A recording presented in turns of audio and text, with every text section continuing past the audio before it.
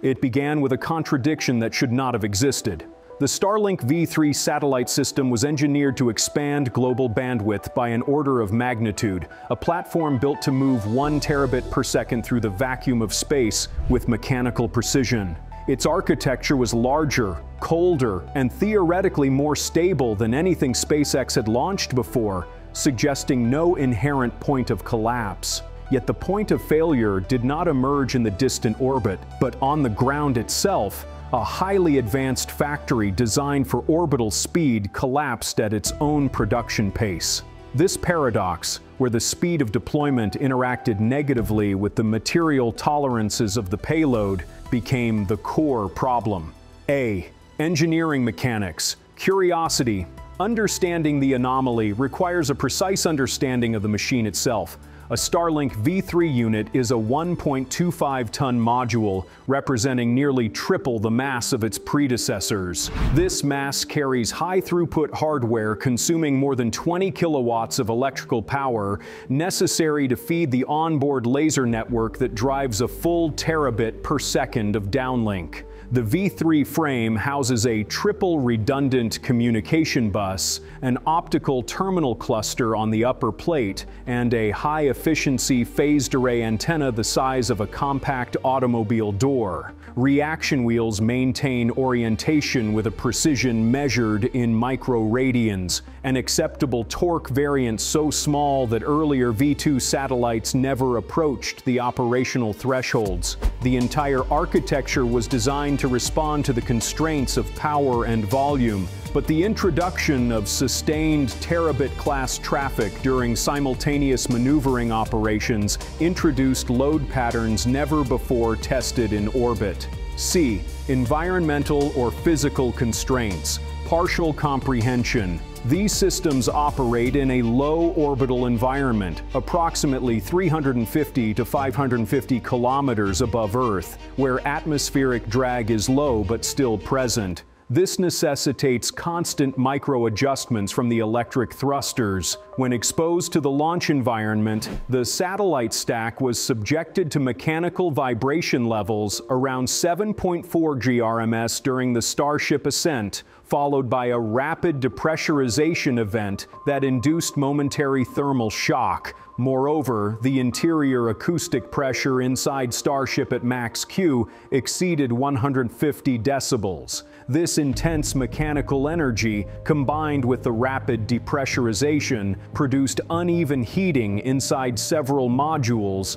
and launched a cascade of microfractures along thin antenna support frames. The entire structure behaved correctly under its design assumptions, yet the gravitational coupling between the satellite's mass and its thermal distribution system shifted subtly under these extreme loads. B. Human or institutional decision logic, inversion. The earliest signs of trouble were subtle enough that they were initially dismissed, yet they were large enough that they could compound into catastrophic failure. Flight data from deployment windows revealed power fluctuations and thermal loads exceeding predictions by margins that seemed small. Records show engineers flagged a redesigned production line that introduced faster solder reflow, reducing manufacturing time but slightly altering the long-term reliability curves of the boards, yet the schedules overruled the cautionary findings. The core inversion came from the organizational belief that a faster launch cadence would not fundamentally change the failure mode distribution.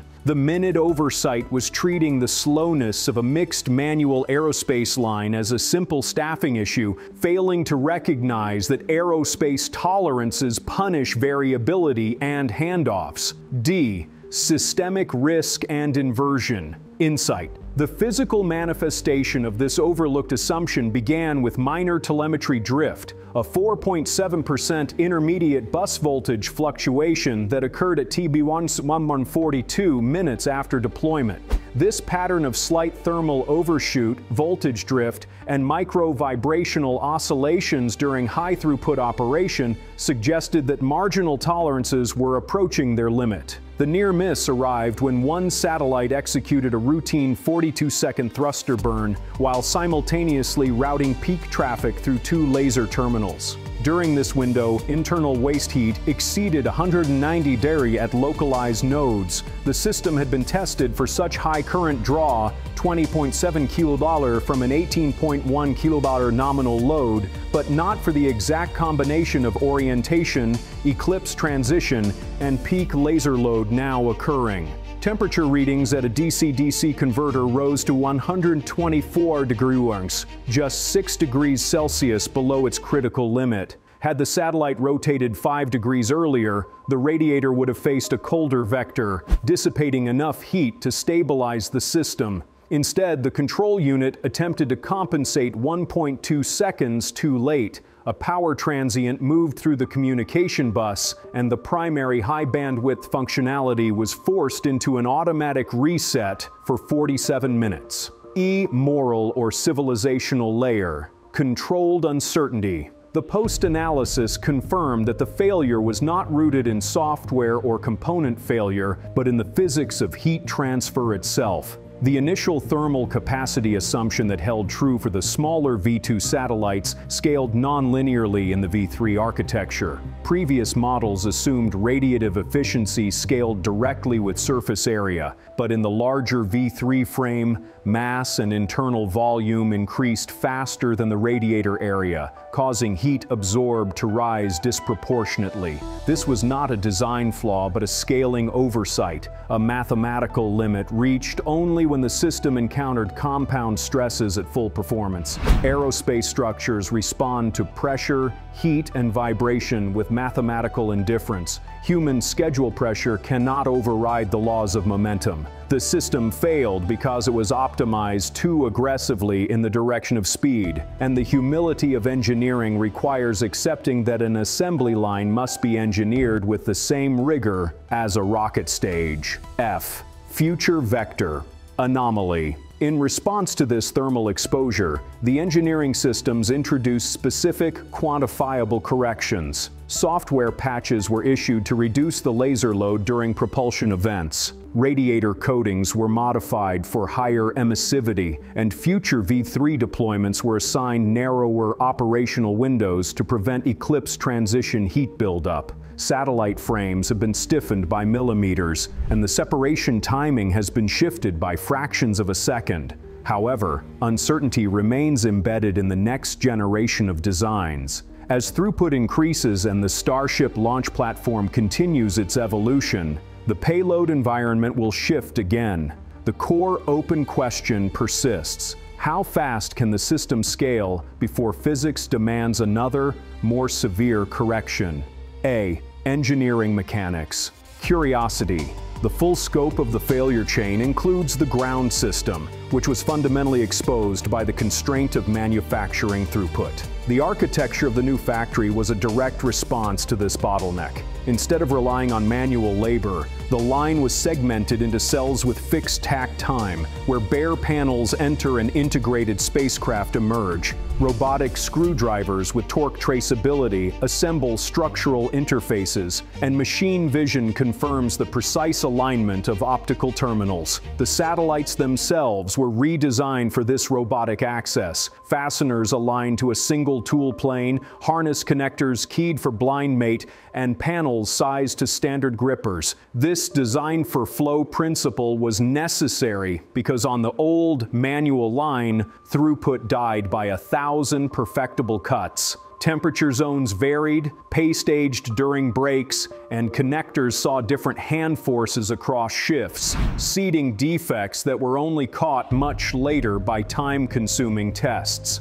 C. Environmental or physical constraints, partial comprehension. The punishing queue in the old system sat not at assembly, but at test thermal vacuum, RF alignment, and laser link calibration absorb immense time, and shared resources guarantee collisions in the schedule. A satellite waiting on a chamber is a satellite that cannot launch. The material itself knows nothing of the schedule, it responds only to temperature and time profiles. When a reflow oven sees more open and close than it sees heat, joints become statistics, where a robotic control ensures they become constants. The factory had to be designed to respect the physical limits of production processes. Heat profiles for solder do not care about ambition, optical alignment tolerances for laser crosslinks do not care about hope. B. Human or institutional decision logic, inversion.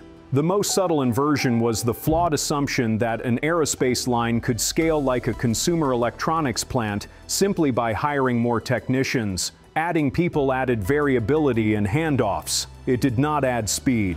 The catastrophic ground-based cascade was schedule slip leading directly to constellation underfill, which forced orbital plane deployment lag and increased collision avoidance burns, compounding the structural losses with lifetime penalties from extra propellant. The factory choked the sky because the launch cadence reached the factory's ceiling. The problem was not the rocket, but the inability of the ground process to feed it consistently. The reversal was ultimately a matter of calendar mathematics, not philosophy. D. Systemic risk and inversion InSight mission data confirms that the overstressed satellites exhibited premature thermal cycling failures during orbit raising and display battery regulation drift, with a smaller portion showing laser link instability where beam steering deviated by fractions of a degree. The systemic risk on the ground was measured by Little's Law, where coefficient of variation in cycle time overwhelmed the buffers. Work in process exploded, hiding defects, starving the downstream, and masking the true causes behind inventory queues. Before the new factory, rework rates on complex assemblies forced second and third thermal test cycles, which stressed hardware, consumed chamber hours, and pushed deliveries into later launch slots. This delay meant in-orbit activation occurred in different solar seasons and different interference profiles, consuming critical power margins. The constellation only behaves at scale. Underscale is a functional failure mode. The solution was to slash variation, control cycle times, and balance the lines so that bottlenecks became measured, not merely guessed.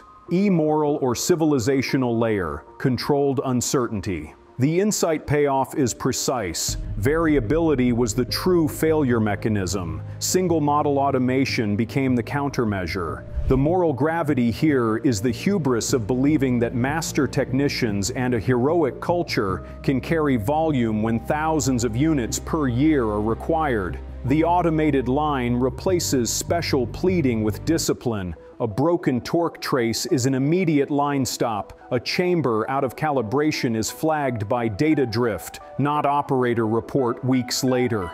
The pride of the engineering team shifts from heroic saves to the quiet, predictable authority of the control charts. The system was not fighting external forces, it was fighting itself, and the verdict of physics is the refusal to accept any mysteries in time, heat, or flow.